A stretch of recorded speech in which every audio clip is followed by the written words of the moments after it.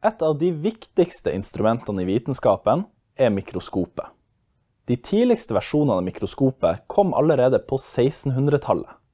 I denne videoen skal vi lære hvordan man lager et preparat, samt bruke et mikroskop.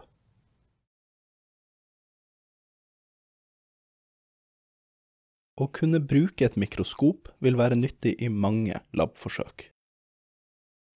Mikroskopet består av flere deler. Øverst har vi okularet.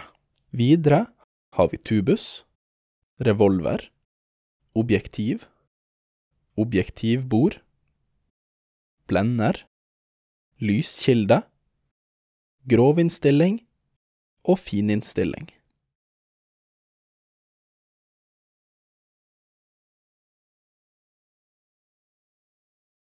For å lage et preparat tar man først et utsnitt av det man vil studere.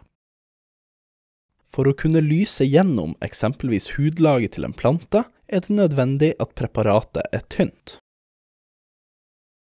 Om man studerer planteceller, kan man ha noen dråper ferskvann på preparatet for å gjøre cellen større, eller saltvann for å gjøre dem mindre. Dyreceller trenger fysiologisk saltvann. Legg preparatet på objektglasset. Legg dekklasset på, og preparatet er ferdig. Legg et ferdig preparat på objektivbordet og spenn det fast. Vri på revolveren slik at du får inn den minste forstørrelsen.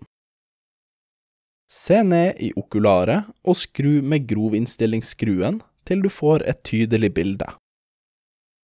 For et skarpere bilde skrur man på fininnstillingsskruen. Om du trenger sterkere forstørrelse, vrir du på revolveren slik at neste objektiv kommer på plass. Du hører en kneppelyd når den er i stilling. Juster skarpheten igjen ved hjelp av fininnstillingsskruen.